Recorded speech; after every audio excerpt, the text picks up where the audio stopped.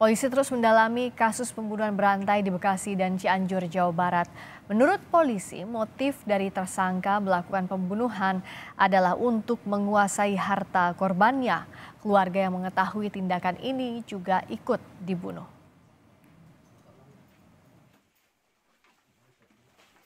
Polisi telah menetapkan tiga tersangka dalam kasus pembunuhan berantai di Bekasi dan Cianjur, Jawa Barat dengan korban sembilan orang tewas.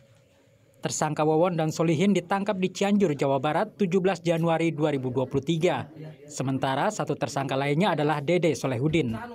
Polisi menyebut motif para tersangka adalah melakukan penipuan berkedok supranatural dan mengaku mampu mendatangkan kekayaan dan kesuksesan. Padahal tujuan para tersangka adalah untuk menguasai harta korban dan kemudian dibunuh.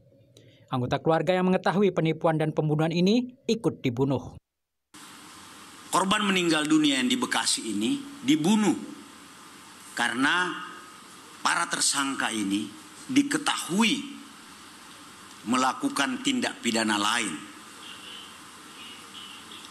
Apa tindak pidana lain itu? Mereka melakukan serangkaian pembunuhan atau biasa disebut dengan serial killer dengan modus operandi dengan motif maaf dengan motif janji-janji yang dikemas dengan kemampuan supranatural untuk membuat orang menjadi sukses atau kaya.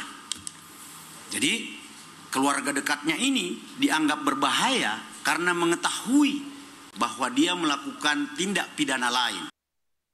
Para tersangka dikenakan pasal pembunuhan berencana, pasal 340 KUHP, subsidiar pasal 338 dan pasal 339 KUHP.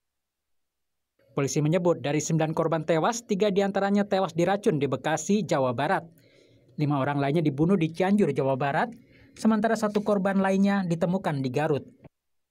Tiga korban di Bekasi terdiri dari istri keenam Wawon berusia 40 tahun, serta dua anak tiri Wawon berusia 23 dan 17 tahun.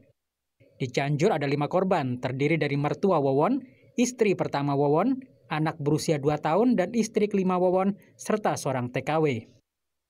Satu korban lagi seorang TKW yang sempat dibuang ke laut dan ditemukan warga sekitar dan dikubur di Garut. Polisi terus mendalami kasus ini untuk mencari kemungkinan adanya tersangka dan korban baru. Tim Liputan Kompas TV.